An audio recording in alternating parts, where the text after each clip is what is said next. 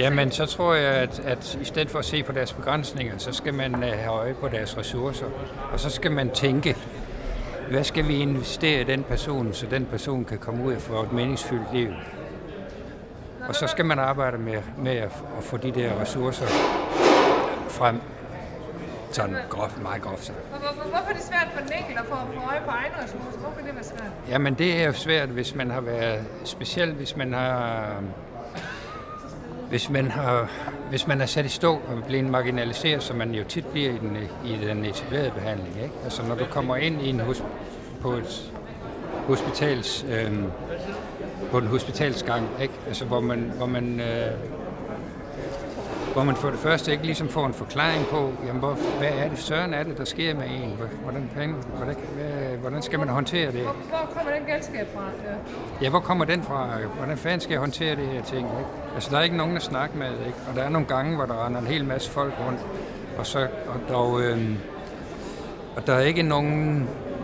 Men man mister sig selv, eller hvad? Nej, man synker ind i sin sygdom og man bliver identificeret sig med sin sygdom, ikke? og alt, hvad man skal lave fremover, det bliver ligesom ud for de der begrænsninger, der sker. Ikke? Og det, øh, det er, øh, så bliver, så bliver det, det bliver sådan et, et lukket liv, som når man så bliver udskrevet, så ender man i de der reservater, hvor man bliver opbevaret, ikke?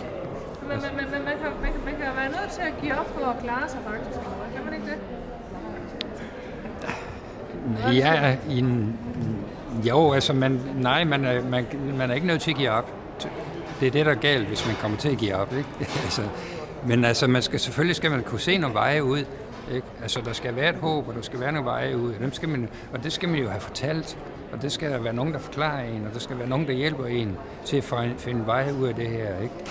Altså, det er jo ikke så mystisk, at det er der. Altså, det er kun psykiaterne, der synes, det er mystisk, hvis de tror, det er en eller anden genetisk ting eller et eller andet. Ikke?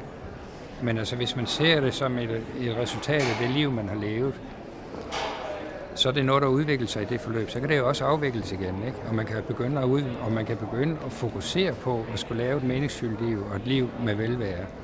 Og så find, finde de der mestringsstrategier. Jamen, hvad det, det har man jo aldrig haft en chance for til Sydlandet, når man er brudt sammen.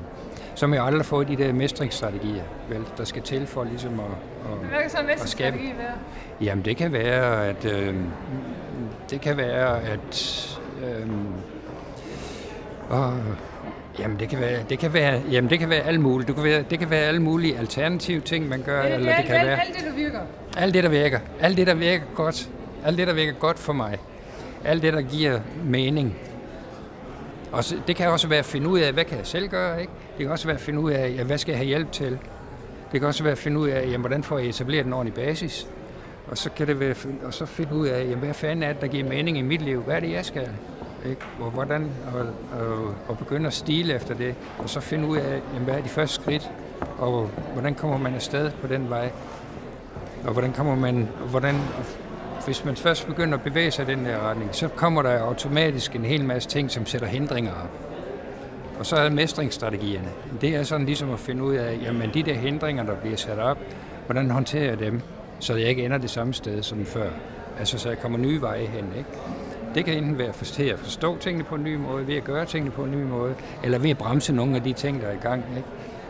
Eller ved at snakke med nogen, som giver en håb, og det kan være alt muligt, ikke? Tror du, det, det er hele at genopbygge relationer til mennesker, eller hvad kan være hele? Jamen, jamen det, det hele er at indgå i nogle ordentlige relationer med mennesker. Du kan ikke gøre det alene. Du er nødt til at gøre det sammen med nogle andre mennesker psykiatribrugere nogle gange lidt svært ved at passe på sig selv, om det er gode relationer, eller hvad tror du? Ja, altså de er svært ved at håndtere gode relationer mange gange. Altså der, det, øhm, fordi det, man bliver sårbar, ikke? Altså man kan let blive sårbar, hvis man kommer for tæt på folk. Hvis man kommer med de erfaringer. Altså mange kommer jo med nogle dårlige erfaringer i forhold til at være tæt. Hvad siger du? Hvordan kan man komme tæt på, eller Jamen det kan man ved at, det kan man inde hos os for eksempel, kan jeg snakke om det. Ikke? Ved at man er sammen med ligestillede, og ved at, at dem, der står, som man uh, udvikler sig sammen med, de er, de er ligeværdige. Altså man er ligeværdig, ikke? Og man, uh, og man så selv er med til at definere de der rammer, som man indgår i, for eksempel. Det giver tryghed, og det giver også omsorg for hinanden. Og sådan nogle helt almindelige, basale ting, som vi jo godt kender, som skal til for en god udvikling. Ikke? Hvad kunne det være? Jamen, det er tryghed, og det er tillid, og det er, der er nogen, der håber. Der er nogen, der håber, der er nogen, der har ambitioner på ens øjne, og tror på en, og hører på en, og bruger en. Og at man, og at man ligesom også selv begynder at kunne føle, at jamen, man har en eksistensberettigelse, at man har noget at byde ind med. Ikke? Man skal ikke være sådan en isoleret del af samfundet, man skal være del, medvirkende del af samfundet. Ikke? Altså alle sådan nogle almindelige ting, det er det, det, er det, der, det, er det man kommer sig af. Altså, når mere du kommer der, nu mere du velvære, du får ind i dit tilværelse, nu større bliver fraværet af alt det andet.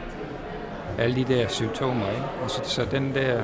Det der gå væk fra smerten, eller hvad? I, Ja, den forsvinder, hvis du, bliver, hvis du bliver glad, så er der, har, du, har du ingen smerte mere. Vel? Hvis du bliver tilfreds, er du ikke, har du ingen angst mere. og sådan nogle ting, du ved. Altså det er, du behøver sikkert have det der fokus på de der barriere. Vel? Du skal have på fokus på det, som gør godt.